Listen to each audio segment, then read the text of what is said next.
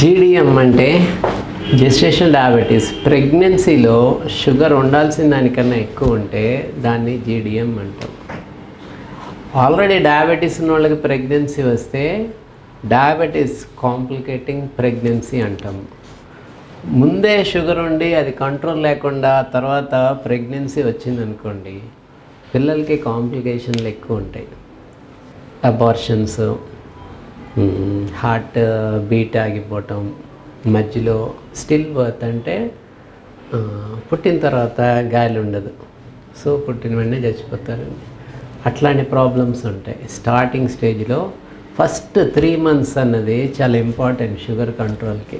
ఆ టైంలోనే బేబీకి ఆర్గన్స్ డెవలప్ అవుతాయి కాళ్ళు చేతులు గుండె మెదడు ఇట్లాంటివన్నీ. అందుకని ఫస్ట్ మూడు నెలలు షుగర్ కంట్రోల్ లేకపోతే బేబీకి కాంప్లికేషన్ చాలా ఎక్కువ ఉంటుంది.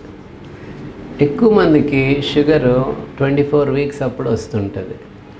వాళ్ళకి షుగర్ కంట్రోల్ లేకపోతే పుట్టే బేబీ పెద్దగా ఉంటాడు పుట్టినప్పుడు డెలివరీ టైంలో కొంచెం కాంప్లికేషన్లు ఉంటాయి అందుకని ప్రెగ్నెన్సీలో షుగర్ కంట్రోల్ తినే ముందు తొంభై ఐదు లోపు తిన్న గంటకి నూట నలభై తిన్న రెండు గంటలకి నూట ఇరవై లోపు షుగర్ ఉంచుకోవాలి. అప్పుడు నార్మల్ బేబీ కింద లెక్క. ఎప్పుడు ఆల్రెడీ డయాబెటీస్ వాళ్ళకి అంత కంట్రోల్ ఉంటాం అప్పుడప్పుడు మిస్ అయితే ఉంటుంది. అయినా పెద్ద కంగారు పడక్కర్లా అప్పుడప్పుడు మిస్ అవుతాయి కానీ ఓవరాల్గా three months average below six maintain చేయగలుగుతూ ఉంటే పుట్టే బేబీకి ఎక్కువ ప్రాబ్లం ఉండదు. షుగర్ ఉంది కంట్రోల్ చేసుకోవట్లేదు హై షుగర్స్ ఉన్న బేబీ. జన్మ పుట్టిన తర్వాత తొందరగా వాళ్ళకి డయాబెటీస్ వచ్చేస్తుంది. So pregnant mother sugar control లేకుండా బేబీకి డెలివరీ అయితే బేబీకి జన్మం ఇస్తే వాళ్ళకి ట్వంటీ ఇయర్స్ వచ్చేటప్పటికి షుగర్ వచ్చే ఛాన్సులు చాలా ఎక్కువ ఉంటాయి. అందుకని నెక్స్ట్ జనరేషన్ వాళ్ళకి షుగర్ తొందరగా రాకుండా ఉండాలంటే ప్రెగ్నెంట్ మదరు ఎక్కువ జాగ్రత్తలు తీసుకోవాలి.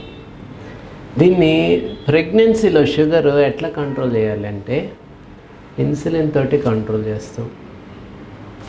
డైట్ చెప్తాము కొంచెం వాకింగ్ ఎక్సర్సైజు పొద్దున్న కాసేపు మధ్యాహ్నం సాయంత్రం.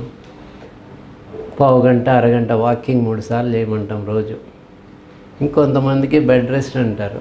వాళ్ళు అసలు చేయదు వీళ్ళందరికీ ఉత్త డైట్ తోటి షుగర్ కంట్రోల్ అవ్వకపోవచ్చు. వాళ్ళందరికీ ఇన్సులిన్ బెస్ట్. ట్యాబ్లెట్లు ఉన్నాయి. ఎక్కువ కాంప్లికేషన్లు ఏమి ఉండవు కానీ ట్యాబ్లెట్ల వల్ల ఎక్కు ఎక్కువ మేమైతే ఇన్సులినే బెస్ట్. బేబీకి కూడా బెస్ట్ అంటాం. అందుకని అందరికీ ఇన్సులిన్ సజెస్ట్ చేస్తాం. ఇన్సులిన్ ఇంజెక్షన్ వల్ల నొప్పి అంటారు కానీ పెద్ద నొప్పి ఏమి ఉండదు. చాలా చిన్న చీమ కుట్టినట్టే ఉంటుంది. ఇన్సులిన్ చేయించుకోవడానికి బయట వాళ్ళు ఎవరో వచ్చి నర్సులు వచ్చి డాక్టర్లు వచ్చి ఇంజెక్షన్ చేయాలి అని అనుకోకర్లా. ఎవరికి వాళ్ళే సొంతగా ఇన్సులిన్ చేసుకోవచ్చు. ఈ ఇన్సులిన్ ఖరీదు ఎక్కువ అని అనుకో అక్కర్లేదు కొన్ని రకాలు తక్కువ ఖరీదు ఉంటాయి కొన్ని ఎక్కువ ఖరీదు ఉంటాయి. సో అందుకని చీప్ ఉంటాయి కాస్ట్లీ ఉంటాయి పెయిన్ లేని పెన్స్ ఉంటాయి.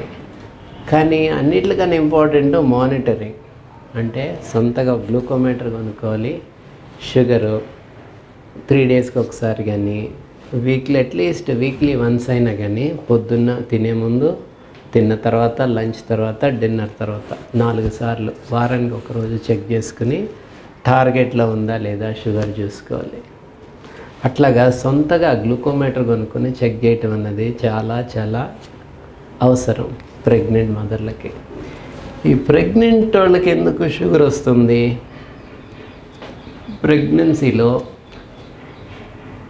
ప్లసంట బేబీకి మదర్కి మధ్యలో ఉంటుంది. ఈ ప్లసెంటా నుంచి హార్మోన్స్ రకరకాల hormones growth hormone steroid hormone ఇవన్నీ జనరేట్ అయ్యటం వల్ల బాడీలో మదర్లో కొంత ఇన్సులిన్ రెసిస్టెన్స్ డెవలప్ అవుతుంది దానివల్ల ఇన్సులిన్ మదర్కి సరిపడా లేకపోయినా ఈ ఇన్సులిన్ రెసిస్టెన్స్ ఎక్కువైనా బాడీలో బ్లడ్లో షుగర్ పెరుగుతుంది. సో దీనివల్ల ఎక్కువ మందికి మదర్కి డయాబెటీస్ ప్రెగ్నెన్సీలో దాన్నే జీడిఎం అంటాం అది వస్తూ ఉంటుంది. సో రాకుండా ఏమి జాగ్రత్తలు తీసుకోవచ్చు అంటే టైంకి ఫుడ్ తినాలి కానీ తక్కువ తినాలి. స్వీట్లు ఆయిల్ ఎక్కువ తిన్నోళ్ళు ఎక్కువ లావెక్కిపోతారు. సో వాళ్ళకి వచ్చే ఛాన్సులు ఎక్కువ.